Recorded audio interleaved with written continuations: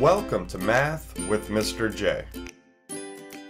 In this video, I'm going to cover how to find the volume of a cylinder. And remember, volume is the amount of space a three-dimensional object takes up. So let's get into our example here where we have a cylinder with a given height of 8 inches and our base has a given radius of 3 inches. So that's the information we need in order to uh, calculate volume of a cylinder. Now we have two formulas at the top of our screen here. They look different, but they mean the exact same thing. So the top one says volume equals a capital B times H. So that capital B means the area of the base times H, which is height.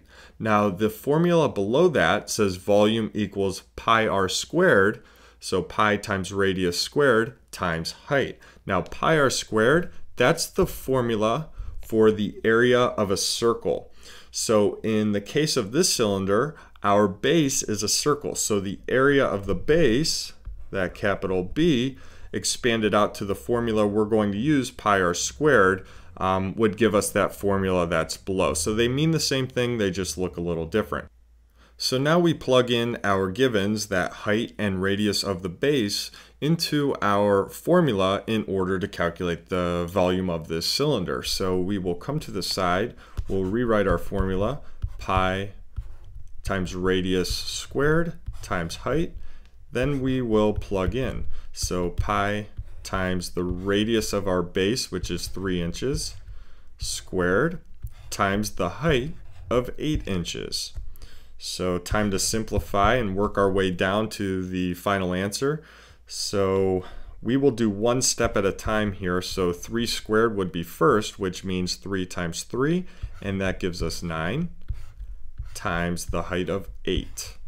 So next step, we could do 9 times 8, which is 72, and we multiply that by pi. So I put the 72 before the pi because typically when you multiply something by pi, you put the number first. And multiplication is commutative, so you can switch the order of things and still get the same answer. For example, 3 times 2 is 6, and 2 times 3 is 6. It doesn't matter the order. So 72 times pi, as far as that goes, I'm going to use the pi button on my calculator when I punch this in.